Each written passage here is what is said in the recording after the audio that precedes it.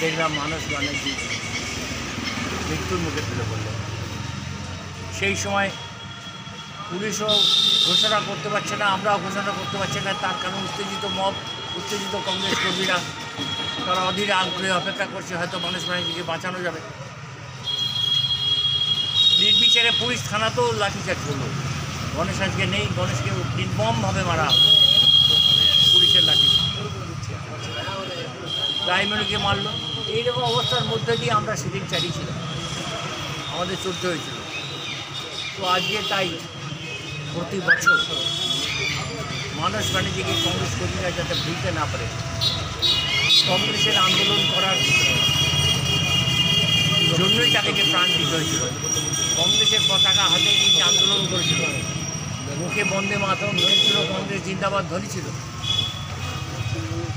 তাই তার যাতে কংগ্রেস কর্মীরা ভুলতে না পারে এবং কী জন্যই তারা প্রাণ দিতে হয়েছিল, সেটা বলার জন্যই আজকে আমরা উপস্থিত হয়েছি আসুন, আমরা সবাই মিলে তার আত্মার শান্তি কামনা করি, তার পরিবার বড়দের সমবেদনা। দিনে উনিশশো নব্বই সালের তেসরা আগস্ট মানব ব্যানার্জি যুব কংগ্রেসে আন্দোলন করতে গিয়ে দ্রব্যমূল্য বৃদ্ধি এবং বাস ব্যানার্জির প্রতিবাদে গণ আন্দোলন করতে গিয়ে আমরা সেই আন্দোলনটা সংগঠিত করেছিলাম বর্তমান কংগ্রেস অফিস থেকে যখন বর্ধমান শরৎ থানার সামনে যায়, যেটা ইংরেজ আমলেও ঘটেনি, পুলিশ নির্মমভাবে গুলি চালিয়েছিল।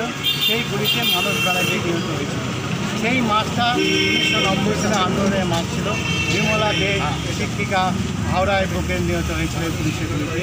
রঘুনন্দন তেয়ারি ছাত্র নেতা পুরুলিয়ায় নিহত হয়েছিল।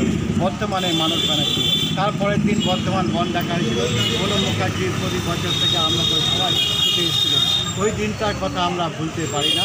আজকে সেই তেসরা আগস্টে আমরা মানস ব্যানার্জির প্রতি বর্ধমান জেলা কংগ্রেসের পক্ষ থেকে।